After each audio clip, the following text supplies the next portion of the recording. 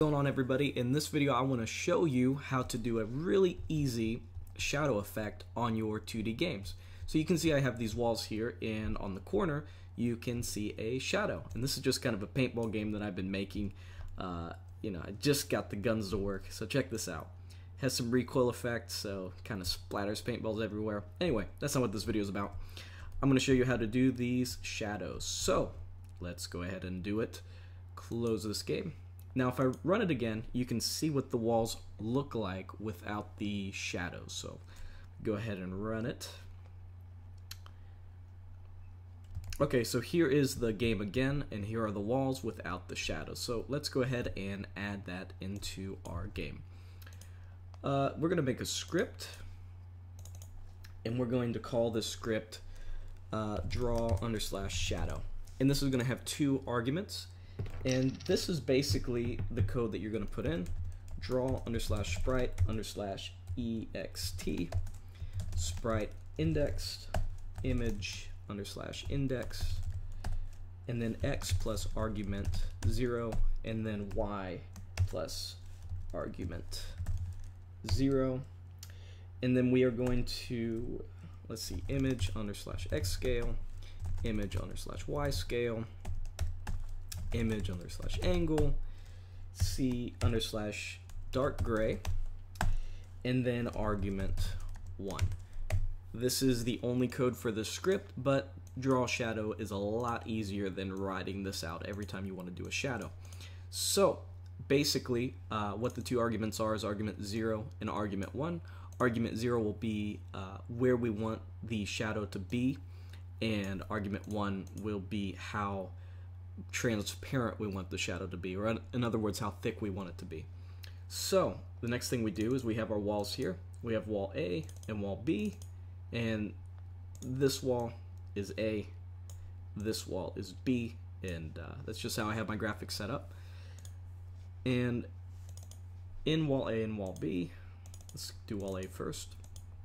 Before draw self, we're going to add draw shadow.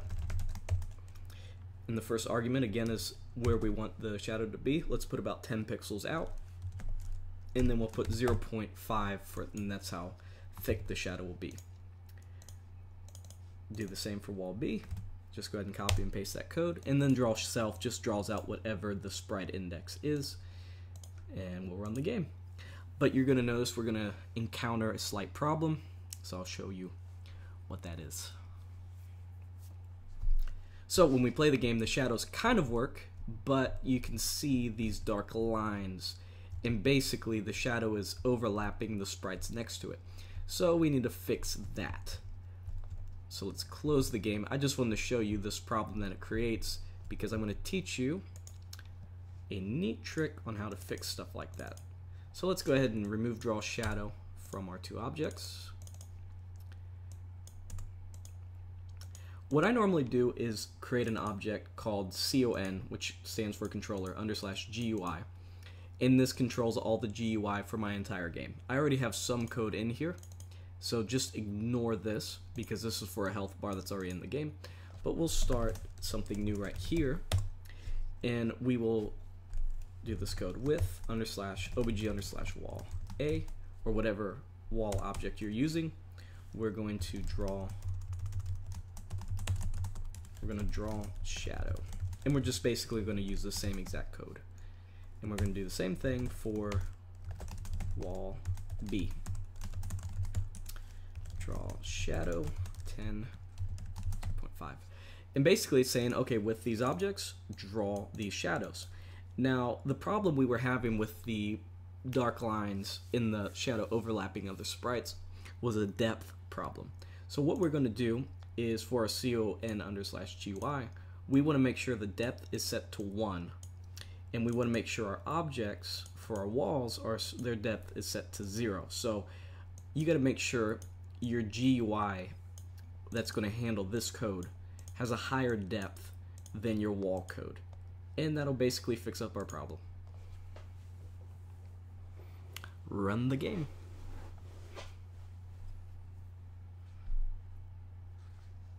And there you have it. It fixed the problem right up. And now we don't have those dark lines in our walls. And uh, You can see uh, my guy can just kind of walk through the wall, so that's great. Uh, we don't have the lines there, and the shadows look uh, pretty good. So, you know, this is incredibly basic, but it is a nice little trick, especially if you're a beginner on GameMaker and you just want to add a nice little effect to your walls in GameMaker. Uh, anyway, if you liked the video, if this helped you, click the like button if you need help, or you like the video, you can leave a comment. And if you want to see more of these videos, click that subscribe button. Again, if you need any help, just let me know, and I'll be sure to do my best to help you out. All right, see you guys.